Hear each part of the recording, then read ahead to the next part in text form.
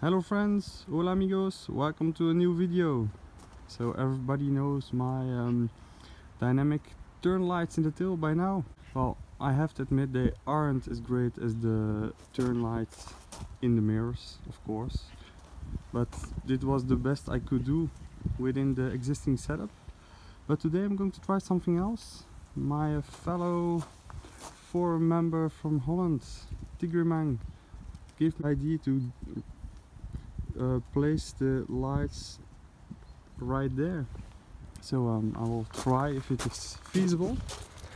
And of course I like to share this with you. So here they are right now. As you can see, well, on the white uh, car they aren't this uh, that that much present but uh, I can imagine if you have a black or a darker co color well they they aren't as beautiful placed right here as well as they um, seem to get a little bit dirty and uh, they don't stick quite as well. So I will try to place them down here. As you can see there is a small gap and I think I can place them here. So they will work all this way over. So they will be placed a little bit further to the side but it may look more uh, factory made. So I just removed the bolts from here with a 10 millimeter. And um, if it's the first time you have to really pull backwards like this. Which could be quite scary if you didn't did it before. Just uh, just try to grab on right here. Place the other hand here on the side you could try grab it like here and just pull backwards. So friends the lamp is out. I really had to pull it with quite some force. Just be careful not to break anything. It's fixed on this plug plugged in there unplugged down there. Just pull it backwards with force but gently not to break the, the plastic. Here you can see the setup. This was the cable to my switch I placed back there well hidden but to have the possibility to shut it down if needed. There are the connectors and here is the cable down to the LED strip. So I've thoroughly cleaned the surface with um, a degreaser just to be sure that it fixes well. And now I will um, use some uh, universal silicone to um, to stick it in there but because uh, the 3M tape doesn't uh, hold any longer so it would be uh, much cleaner I guess.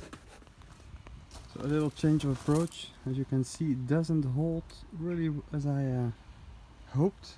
So I changed the silicone to um, fix all version that uh, worked really well. I took the, the white version of it.